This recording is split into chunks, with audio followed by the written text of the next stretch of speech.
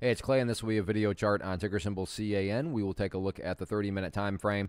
Not sure what I mean by 30 minute. I do offer an explanation video at that link.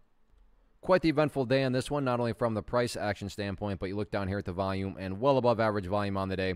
So a lot of eyeballs on this one moving forward. So let's map out some areas of support and then we can talk levels of resistance. So the first level of support is what I would call the ideal level. I mean, you say, Clay, you know, what make this chart look the absolute strongest going forward?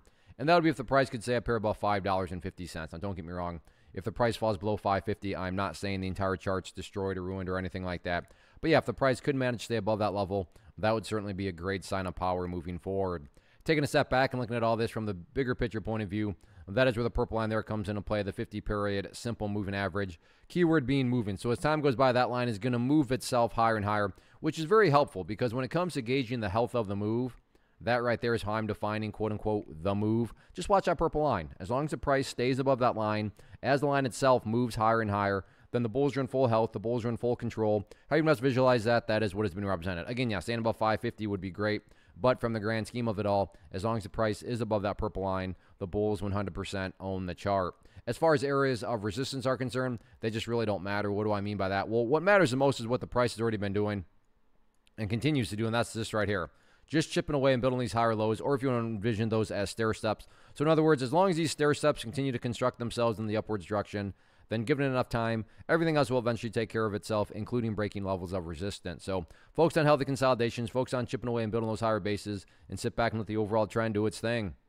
First off, thanks so much for watching the entire video. Real quick, before you go, I want to invite you to a live webinar, web class, training, workshop, online event whatever you want to call it, but it will be me live revealing to you what I've discovered that has allowed me to transform myself from being an employee to being my own boss, including how I had only one losing day out of 73 days in total. I'm going to cover three keys that have helped me unlock profitable consistency within the markets. The first key is super weird, but in a productive type of way. The second key is super awesome because it quite literally is wired into our DNA as humans, making it very easy to use. But in a cruel way, this becomes a pitfall for many traders. I'll explain it all though, including how to avoid the pitfall that it creates for some. And yeah, the third key, when you hear it, sounds way too good, way too good to be true, but it's not, and I'll show you how it all works. Then at the end, I open it up for a question and answer session that is, again, totally live. Even if you can't make the live session,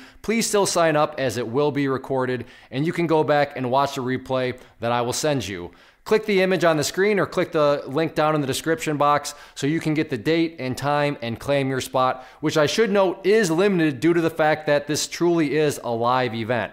If you have any questions, let me know. If not, I'll be seeing you soon.